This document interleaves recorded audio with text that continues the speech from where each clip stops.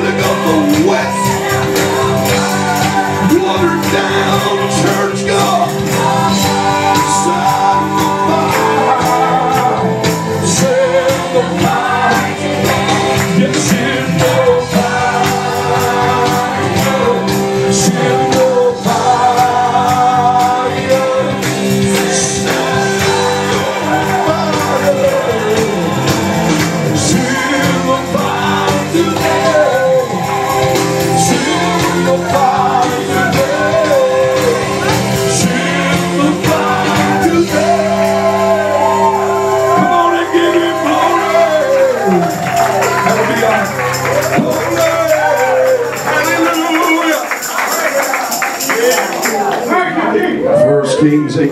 1838, the fire licked up the water. Lord, that lets me know the fire is not something, it's someone. That shows me, person, Holy Ghost, you're thirsty to send your fire, your power. But you gotta have a sacrifice. Because you don't send your fire just to condone. You send it always to consume. So Lord, when we become willing to crawl upon the altar of sacrifice and say, God, I die to me. Take all of me. Lord, then and only then will your fire fall. Hallelujah. Lord, make us flammable today. As you said in Job 5 and 7, Lord, I understand Job's the oldest book in the Bible. Job knew even way, way back then. Job 5 and 7, he said, as sparks fly upward, so is man born into trouble. Lord, I ain't talking about the born into trouble right now. We could go on that, but Job said that heat rises. That's what he was telling us, as sparks fly up. Jesus, when you come back, you're not coming back for a lukewarm girlfriend. You're not coming back for a cold, used to be bride. Yeah, praise God. You're coming back for a hot bride. Because only heat rises. Praise God. Only those that are hot will be rapture ready when you come. In Jesus' name, make us hot, Lord. Somebody lift your hand and say, Lord, make me hot. You know in the book, you know in the book of Exodus chapter 12, during the first Passover that was instituted, which was a foreshadow ultimately of Jesus, because Christ, our Passover, was sacrificed for us. 1 Corinthians 5, 7. It was all a foreshadow, a type of Christ. He is the Lamb of God that takes away the sins of the world. John chapter 1, verse 19. John the Baptist said that. Hallelujah. Amen. But in Exodus 12, we find the first Passover instituted, and the Bible said in verse 7, God told them there to take a selected lamb, the firstling of their flock, their best, and they were to offer it to God. And they were to take the blood of that lamb to put it on the lintels of the doorposts of the house because judgment was about to pass through the land of Egypt. Death was about to come. And wherever the blood was applied, Exodus 12 13, God says death would pass over. That's where it comes from Passover. Hallelujah. And that's what happened when they applied the blood. Now look, God also told them in verses 8 and 9, He said, I want you to roast the lamb with fire. Yes, And I want you to eat all of it and leave nothing of it until morning, verse 10. Somebody say, roast the lamb with fire. Now, when you go to your favorite restaurant Hello, and you've ordered you a selected piece of meat, whether you order it uh, medium rare or whether you order it well done, you still want it hot. Yeah, right. All right. If you was ordering you some lamb chops, you wouldn't want to eat no cold lamb chops. Come on, you want a cold cut, you'd have been making you a sandwich. Glory But you paying some money and you want that stuff sizzling. You want to see it smoking when it come out. Glory God. Anybody hear Holy Ghost? And when I read that, that that one day, it read back to me. God said, Marvin, I want my lamb to be served hot. Glory God. God wants his lamb to be served on fire. He's too worthy to be tried to be served cold, and I'm afraid he's being served up on cold Sunday platters uh, everywhere. But somebody shout this morning, uh, we've come to serve him hot. He wants to put the sizzle back in some of you. Look your neighbor and say, it's going to get hot where I'm sitting. Look at him and say, my sizzle has already begun. Who is this coming out of the wilderness like pillars of smoke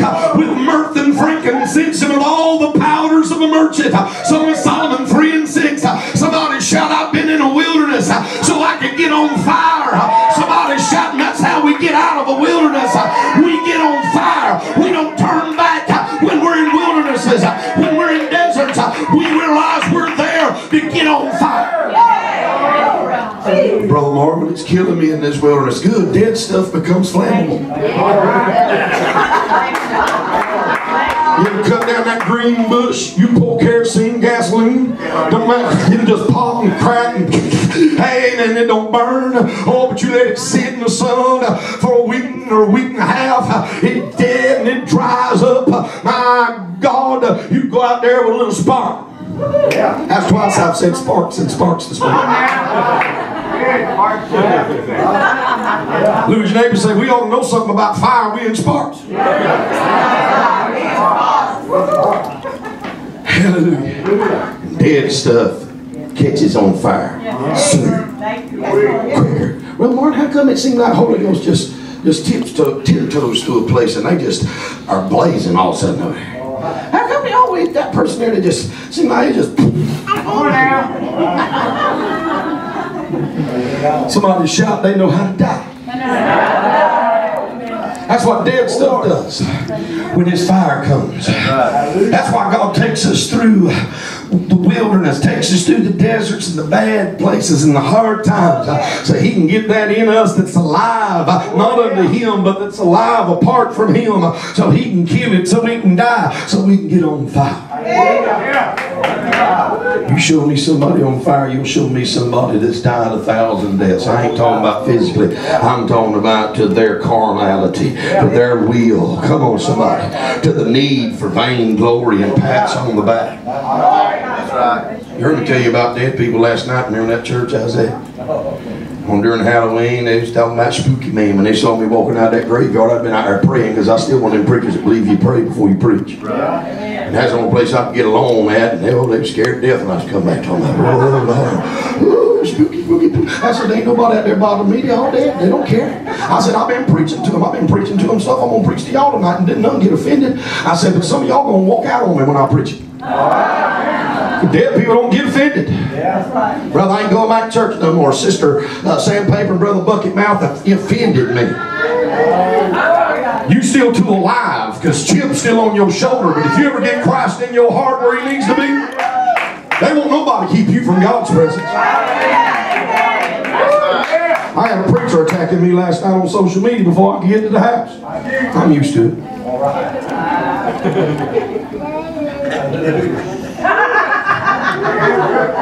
He was attacking me for being prophet and attacking the name of my church and he weren't attacking nothing that was in the video that offended him. I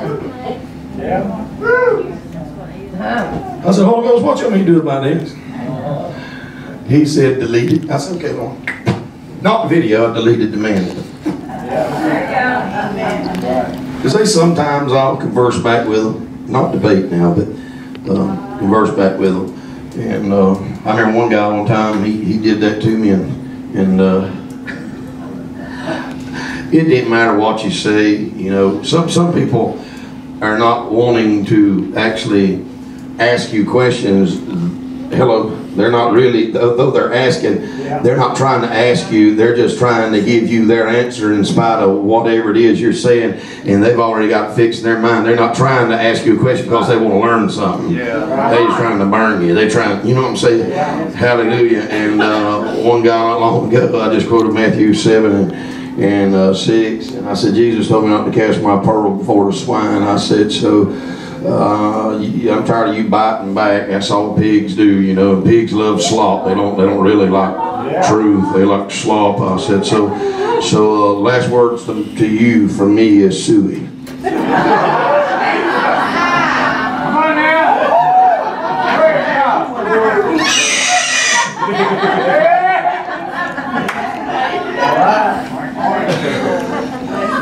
Somebody shout, we went from roast lamb to roast pig right there. Take that pig. Hallelujah. But thank God for his presence this morning and what he's about to do. I want you to take your Bibles. Y'all thought I was going to say briefly? Amen. And turn over to the book of Genesis. Somebody say the beginning. Turn over to Genesis 8 just a moment. We're going to look what Noah did in a time of judgment. I heard this weeks ago as I prayed about this revival. And though there has some things come out of my spirit that uh, I had planned each night to preach in this revival, uh, nothing I've preached thus far has been anything I, I really thought. Hallelujah. Praise God.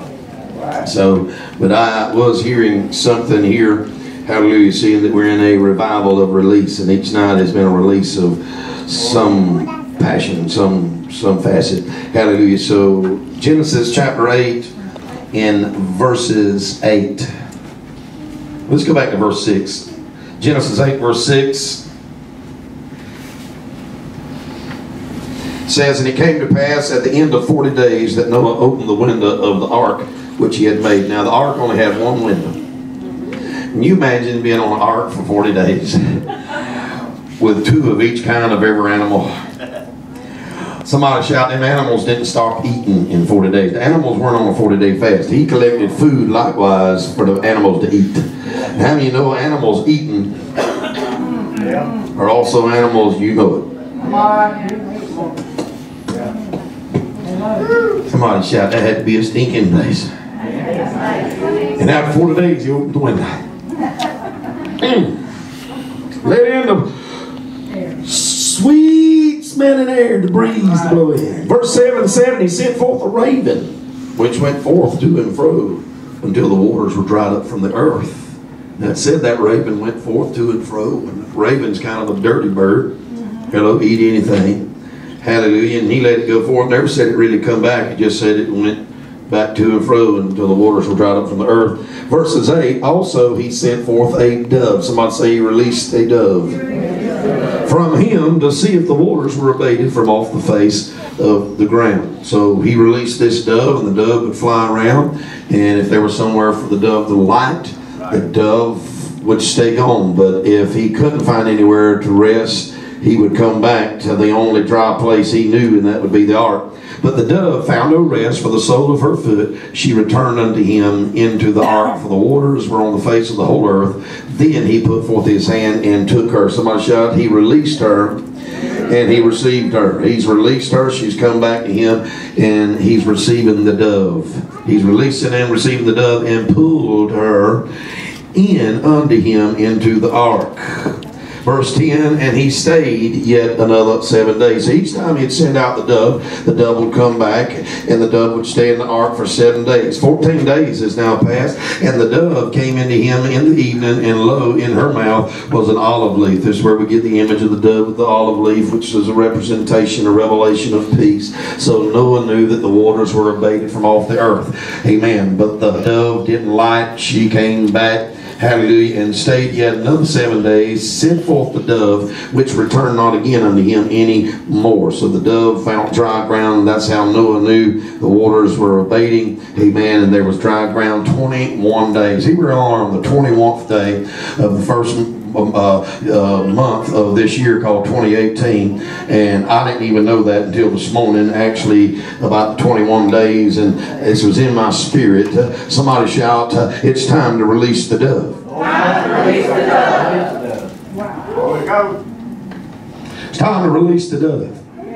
He released the raven. Somebody shout we need to release some ravens too the raven's that old dirty bird. There ain't one scripture about that raven. Hallelujah. It went to and fro. It never came back. Come on, somebody. Somebody shout the days. uh, Amen. Of going to and fro and never coming back to God and never walking after God, never coming after God, uh, never coming back to the house of God uh, has got to come to a close.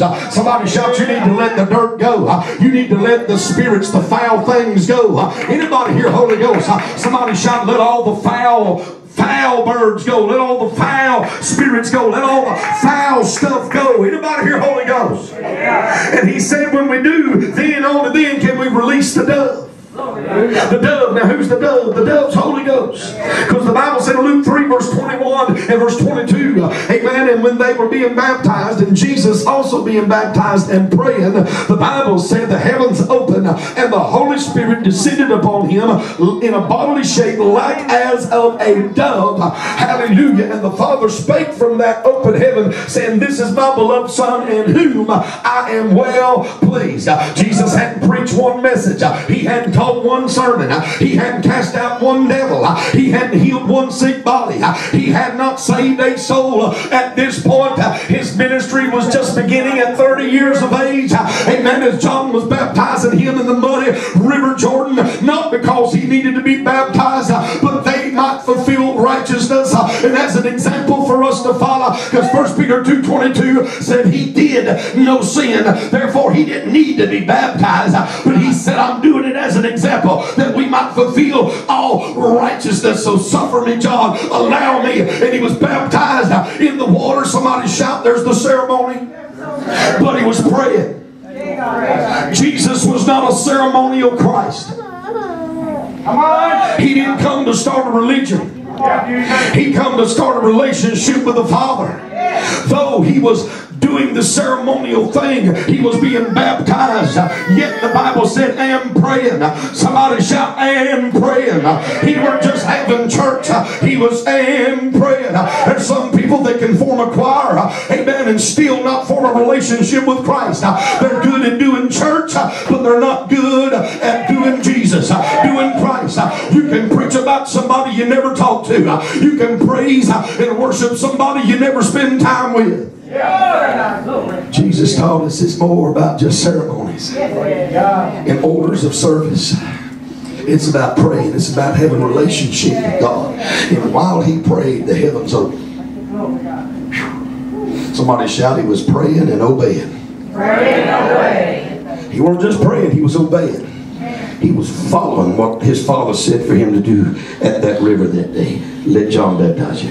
There's obedience and praying. Somebody shout your prayers are powerless if you're not doing what God says do.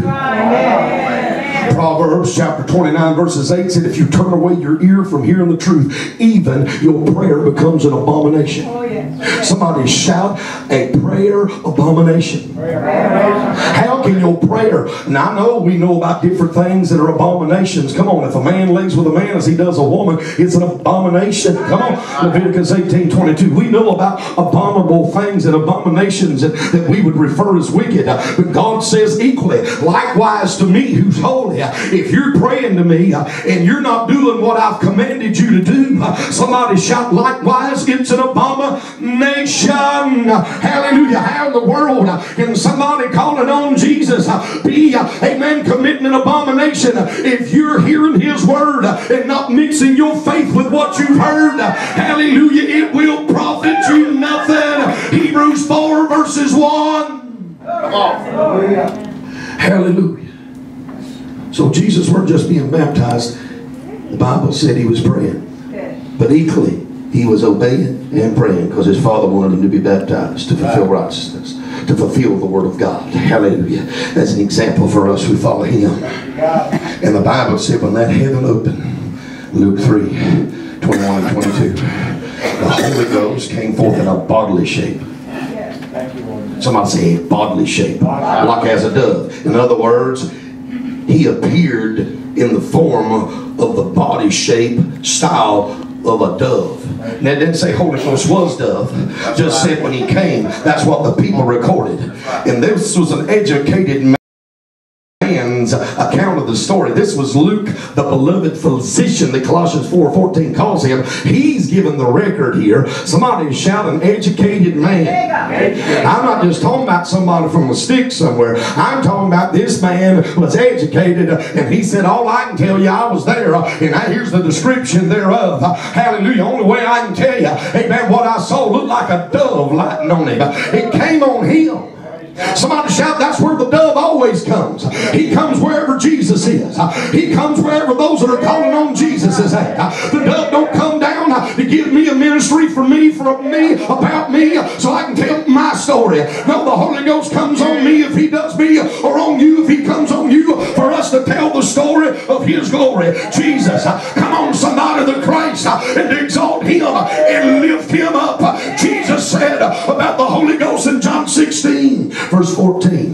When He, Holy Ghost, when He comes, He's going to glorify me. Somebody say, when Holy Ghost comes, He going to glorify Jesus. Somebody shout, that's the quickest way to get the Holy Ghost to come where you are. And manifest in the midst of where you're at. Start glorifying Jesus. Because verse 13 of John 16 said, He'll not speak of himself, but that which he hears, that shall he speak. When the Holy Ghost comes on a clay vessel, that clay vessel won't be telling their story, always talking about me, mine, and I. When Holy Ghost comes on you, He anoints you for one purpose, one fame, one glory. Amen. And that's to exalt Jesus and to magnify Him and bring Him glory. So you can't glorify Jesus and the dove not come. Look at your neighbor and You didn't know it was dove season. Amen. Praise God. Doves won't come down. But he only comes down to rest where Jesus is lifted up. Where Jesus is glorified. And when the dove came down on Jesus, the Father's voice was discerned. They heard it. Somebody shout, You can't hear the voice of the Father without the dove coming down. The dove's the only one that can give you an audience with him. Wherefore today, if you'll hear the voice of the Holy Ghost, Hebrews 3 7, Holy Ghost is God's voice. And this voice was heard. And this voice said, This is my beloved Son. Listen, in whom I am well pleased. Jesus hadn't preached one message, taught one sermon, cast out one devil, healed one sick body, raised one dead body, saved one soul. But the Father said, I'm pleased. Praise God. God ain't pleased because I've preached a hundred messages. Because I passed that long years ago. I don't know how many. I don't count numbers in churches and I don't count how many times I've preached either. Come on, I can't. Can you count what God does? If I do any counting, I'm just counting on God. Come on. He is not counting. Amen. What you can't. My God, how can you count what Holy Ghost is doing? How can you number that? Hallelujah. Glory to God. God. And I'm telling you, what pleases him is when we let the dove come down. When we let the dove release. And I'm telling you, my friend, 18, you watch and see, is going to be a year of judgment. In Noah's day, this was judgment. But Noah knew how to release the dove in a time of judgment. That's the title of this message this morning. Releasing the dove in a time of judgment. Yes. Can I preach to you for just a moment?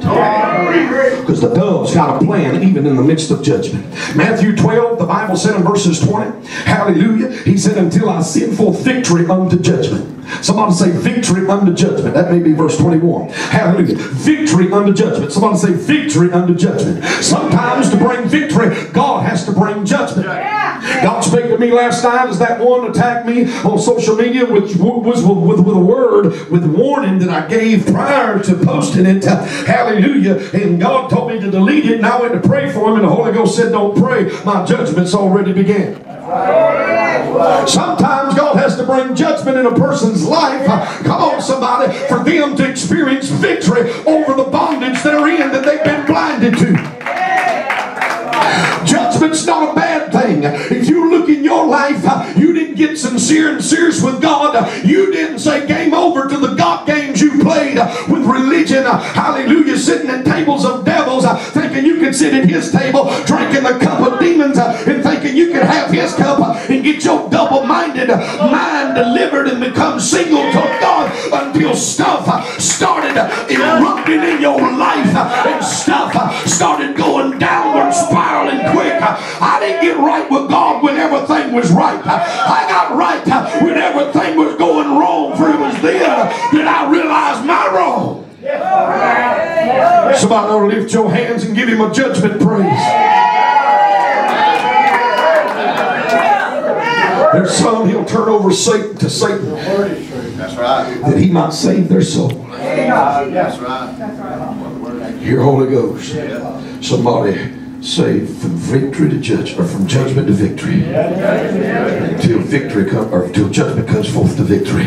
That's what Holy Ghost, Amen, does sometimes. And here we see in a season of judgment, Noah is releasing and receiving the dove. Hallelujah. My God. He released that dove, and the dove came back. All right. Somebody shout, "There's always more." Always more. I believe where we're at right now, we're in that time We are. Nothing. where the dove has come back We are. Mm, with the olive branch, with an anointing. Come on, somebody with the Prince of Peace uh, in her mouth. Hallelujah. Even what has transpired, uh, even in our nation over the last year and few months, uh, has been nothing but a transition of God's grace, a dispensation, amen, that He has opened and afforded us right before He returns again. Because, friend, we're approaching the next season, the third part of the release of the dove in Genesis 8, uh, where the about to be released one more time, but He's not coming back to the ark. Hallelujah. Because the Lord of judgment Himself is coming in the clouds with a great shout. Hallelujah. And we're leaving the ark. I said we're about to but He's not coming back to the earth. Hallelujah. Because He's leaving in the temples. Amen. That He dwells in. Come on, somebody. And friend, if nothing else, we need to learn how to release the dove in this hour of judgment and realize that God has afforded us, even in judgment, mercy. This is a move of His that's last. Come on, somebody, before He comes. Hallelujah.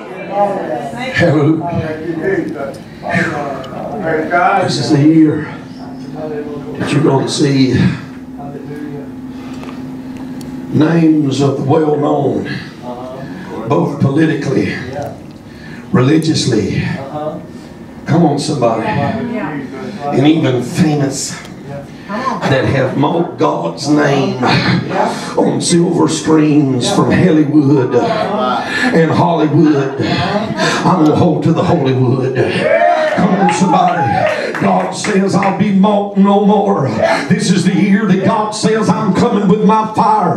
Not just the fire of my move. Because in Scripture, there's two fires, both Old and New Testament. There's the fire of His move, His Spirit, and there's a fire of His judgment. And my friend, I prophesy by the Spirit of the living God. Amen. In this year it begins. And God says, I'm sending two fires. I'm sending them together. I'm sending fires of judgment and fires of my move right before I return. Hallelujah. So true. Amen. Thank God. Thank True word. Luke 3 16. Let your neighbor say, if you believe John 3.16, you ought to believe Luke 3.16. Luke 3.16, John the Baptist, they were thinking he was the Messiah, and he set them straight real quick. That's what real preachers do. Yeah. Mm, don't you try to put me up nowhere and think I'm him. They can't receive that. That grieves them. John said, "There's." He said, "Look, there's one coming after me. The latchets of whose sandals I ain't even worthy to unloose. I'll baptize you with water under repentance, but he's going to baptize you with Holy Ghost and fire."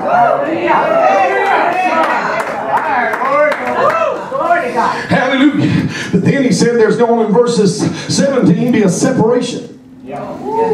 of the wheat and the chaff. Come on, somebody.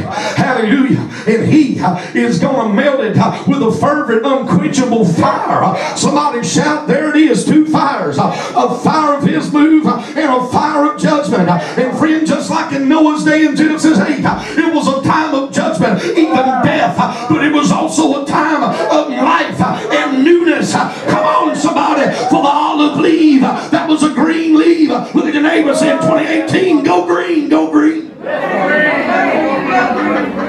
Yes, Lord. Psalms 52, David said in verses 18, he said, I'm like a green olive tree in the house of the Lord. Praise you, God. It's like green flourishing.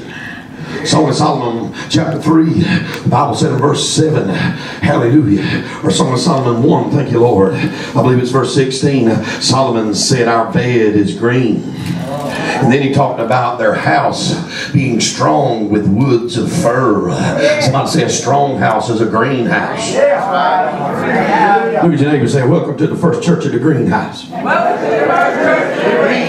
Green. Green. Green something that's growing. Bring something that's living. Bring something. Come on, somebody that's planted in fertile soul. I've come to prophesy by the Spirit of God. You better make sure your bed is green. Solomon was talking about his bride to be. Amen. The Shumanite woman, which is nothing but a prophetic parallel to us, the church, and the bridegroom that's coming. That he's saying it's midnight. Go out to meet him. Amen. Matthew 25 and 6. And the bride is saying, or the bridegroom is saying to his bride, You better have a green bed. Your relationship with me better be flourishing. It better be green. Only can you have a strong house is when you got a green bed. That bed's a place of intimacy. And the bridegroom saying to his bride, These latter times you got to release my dove in your life. You got to receive my dove in your life. Because only he can bring a green olive plant. Only he can bring the green. Hallelujah. Hallelujah. Thank you. Yes. Oh, I know I've been all over this place. I've been in the floor. I've been back yonder. I've been in there. And we've danced one side of the stage, the other. We've rolled. We've shouted. We've danced. Pastor Doug's fell off the floor and rolled a little bit himself. Hallelujah. But this morning the Holy Ghost said, I want you to stand right here. Because I got to give them some meat. Somebody say like harvest, we got the meats. Hey. No bibs here this morning. Bottles of water, but not milk. Hallelujah. Mm. Look at his neighbor and say, that's why you've been bringing your tithe and your offering into his storehouse. Not so they can stay milk in the house, but some meat. Amen. Amen. Malachi 3 and 10. Because meat's for them that's strong. Come on, somebody. So their, amen, senses have been exercised through discernment so they can tell between evil and good, between right and wrong. Come on. Hey, hey anybody here, Holy Ghost? That's where we at. Hallelujah. So in a time of judgment, he's releasing the dove and he's receiving the dove. But that third time he released the dove after the green came, the dove didn't come back. The water had receded. Hallelujah. Amen. They were about to step out of the ark. I am preaching prophetically from this outline that's divine. God is saying stuff in the spirit. Hallelujah. We're in the time of the dove.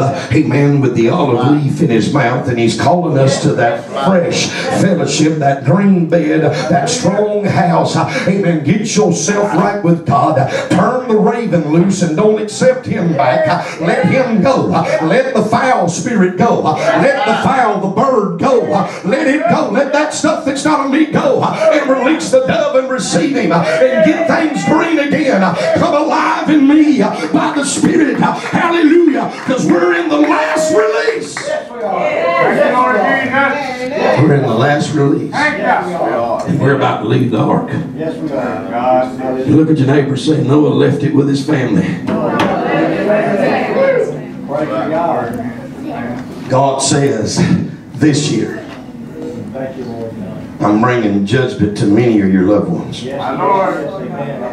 But remember, Matthew 12, 20, 21, the judgment's unto victory. Hallelujah. He's bringing them to judgment. And God says, when the judgment begins, do not get in my way. That's right. Hallelujah. Because some of them, the only way you're going to help them is not to help. That's right. Come on, preach it. Proverbs Word of truth. 19 and 19 said, A man of great wrath Yeah. shall experience judgment. He's going to experience a man of great sins, in other words. And God says, uh, if you help him, you'll have to help him again. Yeah. Come on now. Therefore, God says, uh, stay out of my way. This is the year 18, and I'm telling you to let them become adults, not only of the flesh, but in the spirit. Stay out of my way, because if you deliver them, you're going to keep having to deliver them. But if you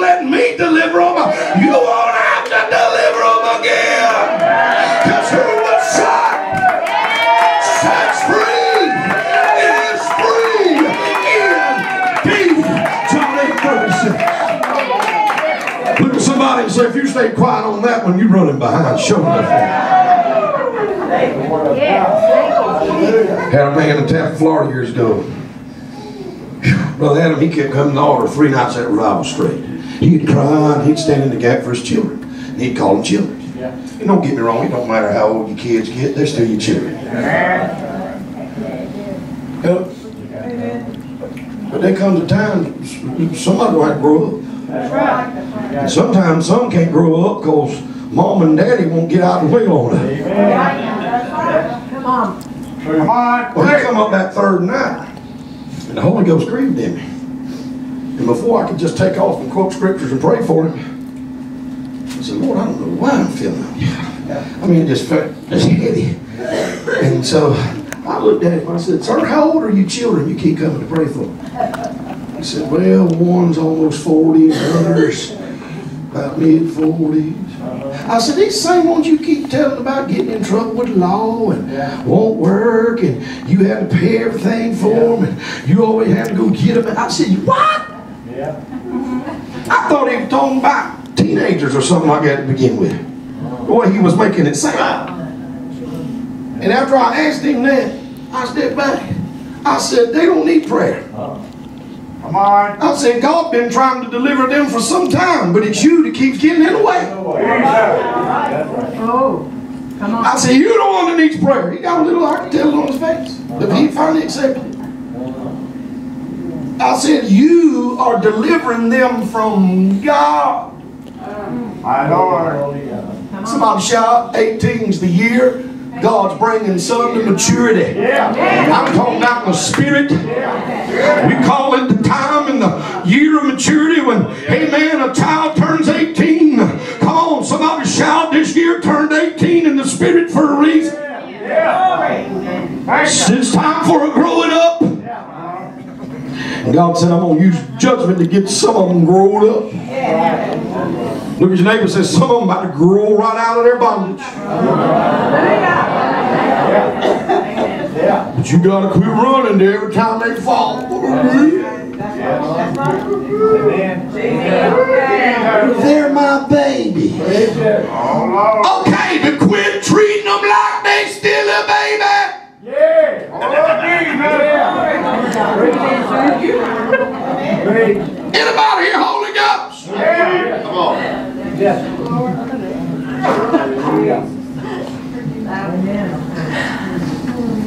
Quit letting your bank account be theirs.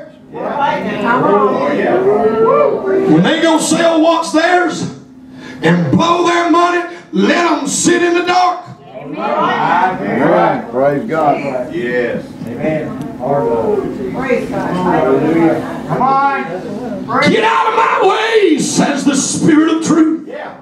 Yeah. And I'll set them free, and when I deliver them, they won't need delivering no more. If you keep you're going to to keep on delivering. Somebody ought to lift your hand and say, Dove, I release you. I ain't going to hold on to you. Dove's trying to flap. He's trying to go. And we holding on to one of his feet. No, not that much. Just, somebody say, let him go. Let him lie on. Yeah. Let him come down hard on. Because by the fear of the Lord, a man will depart from his iniquity. Proverbs 16 and 7. Somebody say, by the fear of the Lord. Uh, mercy and truth will purge it. Yeah. Ooh, but the fear of the Lord will make you walk away from it. Yeah. Jesus. Somebody say, turn the dove loose. Release the dove in this season of judgment. You're going to see judgment. There's something coming. I can't even describe. I, I just, I, there's, there's some horrific things coming to this earth and even in this nation. Yes, they are. Holy Ghost not long ago had me so burdened over even professional sports arenas and places where people gather I begin to sense a time of judgment. Something's going to happen. Holy Ghost told me to warn the church to pray now about the inclement weather that is coming and the judgment that is near. Anybody here, Holy Ghost? There's some that have mocked my name for years, saith the Lord, on the silver screen, even on their newscast. They've mocked me and they've defied many and turned many, even youth and young ones, even from pulpits, have been turned away from truth that's in me. This year, some of those I will remove. Yes, you do. God. Yes, you do. For in the time of judgment, God delivered Noah and his house, but he also destroyed others. Yes, you do. Noah survived because he knew how to release the dove. Turn to Matthew 21. Matthew 21. Matthew 21. Verse 12, and Jesus went into the temple of God, cast out all them that sold and bought in the temple, and overturned or overthrew the tables of money changers. Somebody said, in the seats of them that sold doves. Right. It don't say there was a cage, but if they were selling doves, there had to be a cage somewhere. And I can see in the theater in my mind doves locked up. Because what they were doing with these doves, or these turtle doves, is they were coming in and doing what Leviticus 14 says, Leviticus 15 talks about they were offering two turtle doves, one for a sin offering and one for a burnt offering, according to the law of Moses and what God had told them to do yearly. And that's what they were doing in the temple during this time, this season. Hallelujah. And uh, it was near Passover, and amen. And so they were all in there and they were merchandising the house of God. They were certain ones sitting around, amen. Somebody say, selling the dove, selling the dove, making money, amen, off of this. And, and, and Jesus comes in and overthrows the tables. He's, can't you see the tables turning over? Uh, oh, this don't look like a puny, uh, feministic looking featured Jesus that's been painted in Renaissance paintings for many, many long years ago. This, this looks like a strong figured, uh, come on somebody, male of a man uh, with holy indignation uh, walking in his house, uh, picking up tables, uh, turning them over. The table is the place of meeting and eating. Amen. He says, I'm turning over. I'm about to turn over everything that you called meeting with me and that's not. Uh, I'm about to turn over everything uh, that you called eating with me and is not. Hallelujah. And he turns them tables over. Hallelujah. Somebody shout, we need to turn in the table over Jesus. To come into the house and he's coming into his houses this year. And Jesus said, I'm about to come in my houses, even denominations that I started, that I worked in in their early beginnings, that man and his traditions has overtook, a man with unclean spirits now at this time. He said, in this year I'm coming to reclaim houses that are mine, uh, pulpits that are mine, denominations that are mine. I'm coming and I'm going to take my houses back. And whoever gets in his way will be removed. Because his fire is coming back. And if the fires of his judgment has to make that possible, then so be it, says the Lord.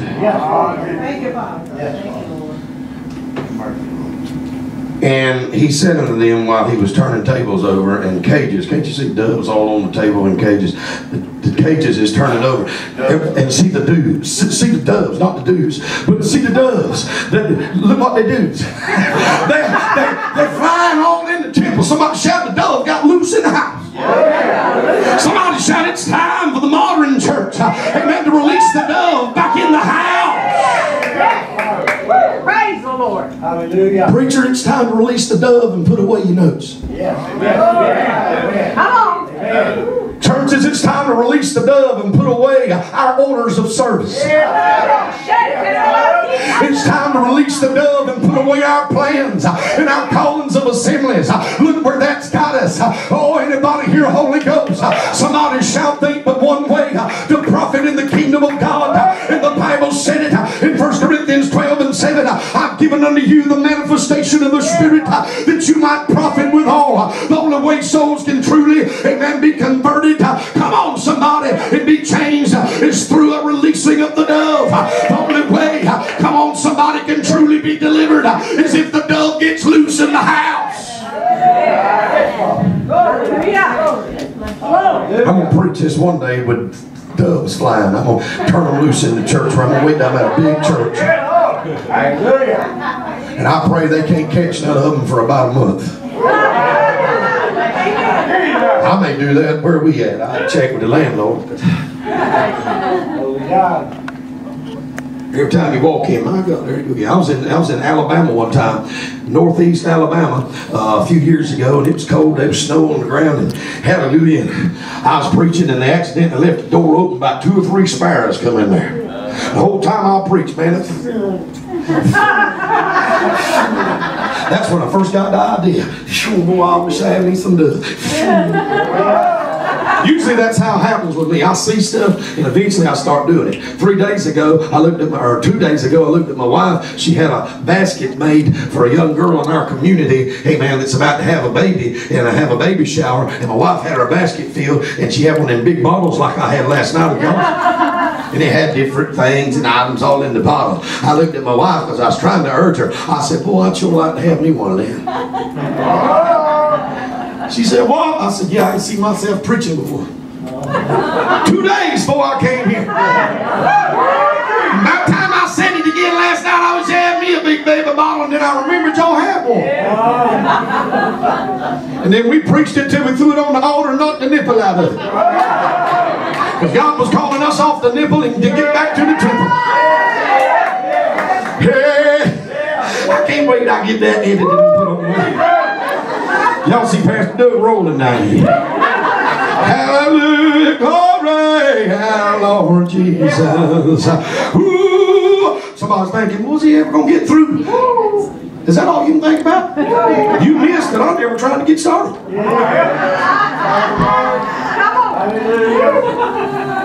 Just releasing the dove. Because Jesus said, My house shall be called a house of prayer, but you've made it a den of thieves. Uh, Then verse 14, the blind and the lame came to him in the temple, and he healed them. Somebody shout, His whip came before his wonders did. And if judgment begin at my house, says the Lord, uh, what shall be the end of them that obey not the gospel?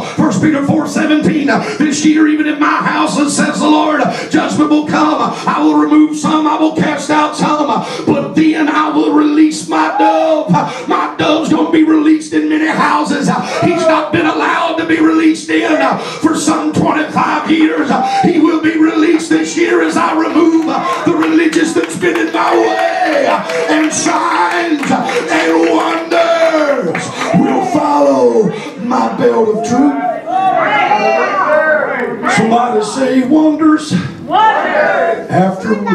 After whippings. Yes. We got preachers that don't like the whip. Yeah. Huh? Yeah. No wonder they're no wonder. When Jesus removed all them religious folk, overturned their meeting tables. And the dove got released. Yes. Praise God. And he said, My house to be called a house of prayer. Meaning the whole purpose of coming here is to fellowship with me, not just with one another. Yeah. Look at your neighbors say, We live in a day of social media. We in many places have made God's house nothing but a social gathering. Come on. Hmm. And don't get me wrong, fellowship's important. The ch- church in Acts, uh, fellowship and break bread. But every time they broke bread and fellowship, uh, it turned into a prayer meeting. Holy Ghost showed up.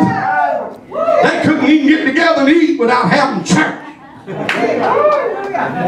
Now we've turned the church into church of chicken. All right. Come on now. That rooster's still sitting. There's little bird. We got on the rooster last night. Hallelujah. Jesus tore all that up, cast all that out. Somebody said, got him crucified. Jesus would have preached like some of these preachers are preaching today. He'd have never went to the cross. Thank God.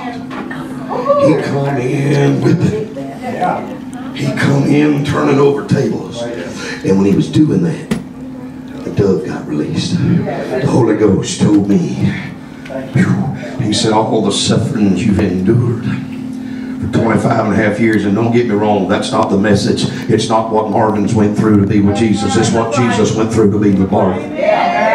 But he chose me, like I said last night, Isaiah 48 and 10, from a furnace of affliction. That's my covering of the Spirit. That's the authority I walk in. I didn't get it at a university, I got it at an adversity. Come on, somebody. Hallelujah. And it seasoned me for this moment. And God says, though at this hour, hallelujah, even seven months ago, I put something in you 12 years ago to do, and seven months ago you began to do it. You planted that church that I told you to plant. Hallelujah. But you're still my prophet. Though I have called you to associate yourself with something local, amen, and create an atmosphere, a place where my dove can be released. Uh, He said, but I've put a message in you that, that's of a prophet, uh, and you will do both. Uh, You will pastor locally, and you will travel globally, and you will bring my dove back to my houses. Hallelujah. I'm calling you in this time. Hallelujah. In this second last phase of your ministry.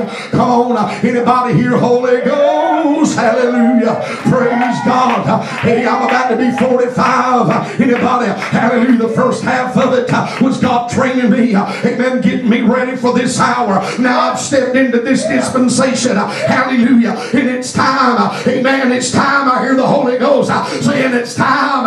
It's time for my dove to be released. And he's bringing a belt of truth. Hallelujah. He's bringing a whip that wonders follow.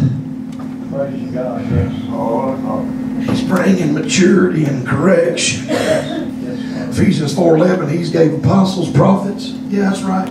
You watching out there in social media land, he still calls people to be apostles and prophets. Yes. Yes. Evangelists, pastors, and teachers.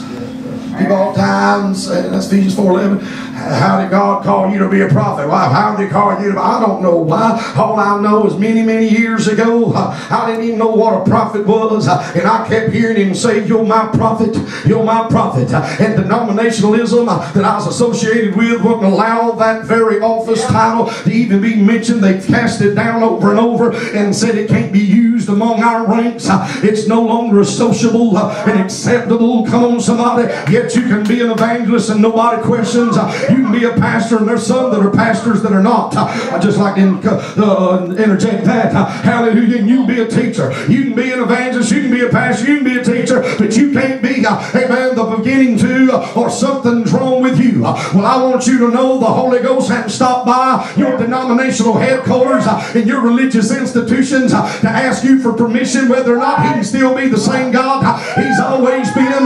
Be careful. Anybody here, Holy Ghost? Prophets ain't just those that talk about the future. Matter of fact, they talk more about the past than they do the future. God sends prophets to his own people to his own house. Every ministry and every facet in every office and calling, amen, glory to God, in these five should involve soul winning and a burden for lost. But I'm telling you, the prophet of God, hallelujah, has a burden on his heart, amen, for God's house, God's people, the lost sheep that's in his house.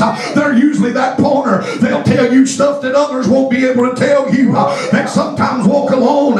Jesus didn't say you've killed the pastors, uh, but he always told the Pharisees, uh, you've killed the prophet. Yeah. Yeah.